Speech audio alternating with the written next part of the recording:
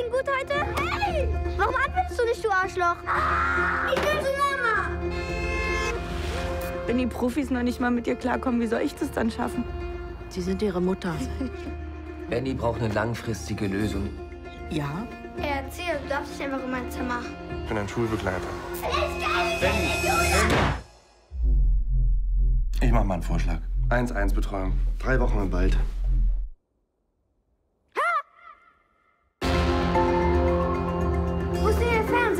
Gibt's nicht. Kein Strom, kein Internet. Und schönes Plumpsklo-Kacken. Ich hasse dir!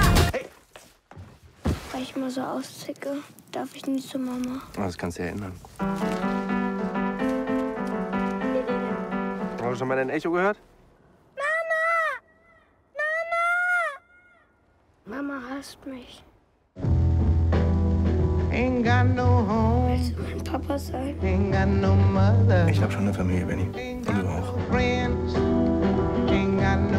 Ich habe manchmal richtig Angst vor ihm.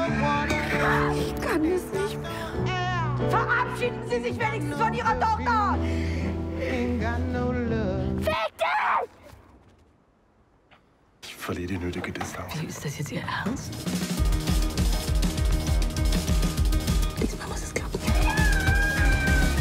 Älter du wirst, desto beschissener werden die Maßnahmen.